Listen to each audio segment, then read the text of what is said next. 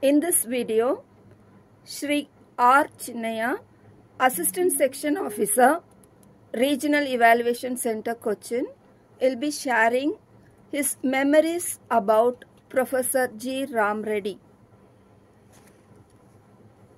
I am R. Chinniah, Assistant Section Officer, working at IGNOU Regional Evaluation Center, Kochi now.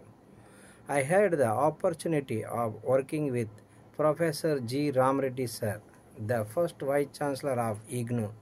From the year 1986, Professor G. Ram Reddy sir was born in the district of Karimnagar on December 4, 1929. Even though Professor G. Ram Reddy sir was the Vice Chancellor, he had personal touch with each one of us working under him. Sir used to ensure our well being as most of us were away from home. I lost my father when I was working at IGNOU Delhi and was having second thoughts of returning back from my hometown to resume my work at IGNOU.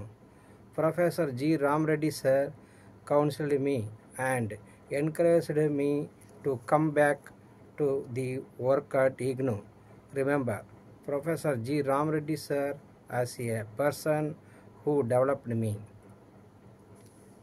Viewers, you were listening to the video My Memories about Professor G. Ram Reddy by Sri R. Chinniah, Assistant Section Officer, Regional Evaluation Center, Cochin.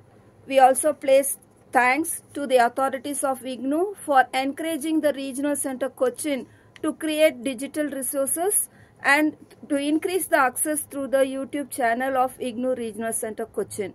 We also place on records our gratitude for the expertise rendered to Shri um, Muhammed Ansar, AEDP, and Madam Reshma Suresh for uh, giving the expertise and the back office operations for recording this video. Thank you for being with us.